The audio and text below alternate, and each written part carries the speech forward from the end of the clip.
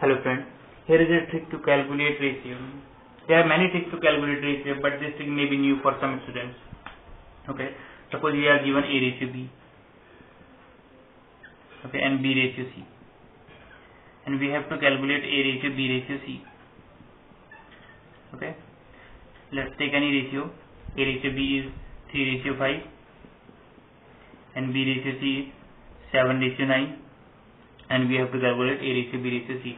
So first write 3 3 5 and then the first term of the second ratio that is 7 should be written below the second term of the first ratio that is 5 then 7 9. So and then whatever number it is it should be written in the blank space to the right hand side okay and whatever number it is it should be written in the blank space to the left hand side okay now we can directly multiply the terms which are in vertical line 5 into 9 45 5 into 7 35 7 into 3 21 okay? It is the final ratio okay? And it, it is the easiest method to calculate. And it is also applicable for more than three terms. We have calculated it for three terms and we also we can also calculate for four terms five terms six terms okay?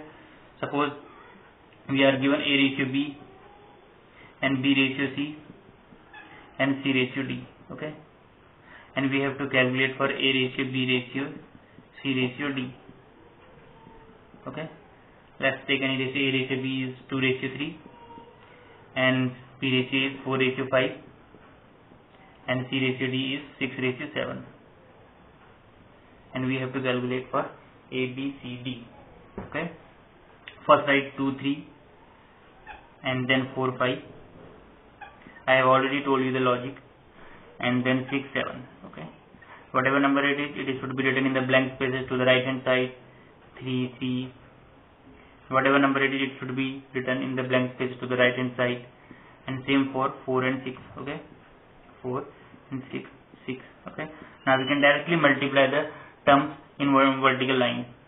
Suppose here we have common 3 in all the vertical lines now we can directly cancel these terms. Because it makes our calculation easy it will become 2 okay now we can multiply 5 into 7 35 5 into 6 30 4 into 6 24 and 4 into 4 16 okay? It is the final ratio. And friends it is the easiest method to calculate ratio. So thank you friends for watching my video. Please subscribe me